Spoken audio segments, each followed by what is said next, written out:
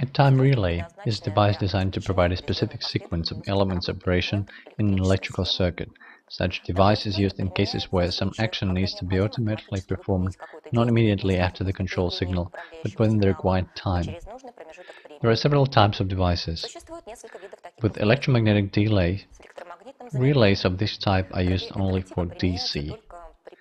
Apart from the main coil, the relay has an additional short-circuited coil with an increase in the main magnetic flux, it creates a magnetic flux in the additional coil which prevents the increase of the main magnetic flux.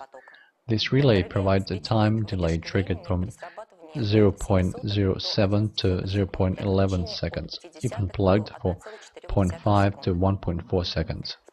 With pneumatic delay, relays of this type have a special relay device, a pneumatic damper. This relay provides a time delay from 0.4 to 180 seconds with an hour or anchoring mechanism. Relays of this type work by a spring, which winds up under the action of an electromagnet. Relay contacts are triggered only after the anchoring mechanism counts down the time set up on the scale. This relay provides a time delay from 0.1 to 20 seconds. Motor time relays. This time of relay is designed to count down from 10 seconds to several hours. It consists of a synchronous motor, a gearbox, a clutch, and a solenoid for tripping the motor with the gearbox and contacts.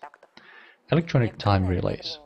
This type of relay is the most common, has small size and low power consumption. It provides a time delay from a second to thousands of hours. Time relays are convenient to use in lighting systems as it switches off automatically within several minutes or seconds after the premises is vacated.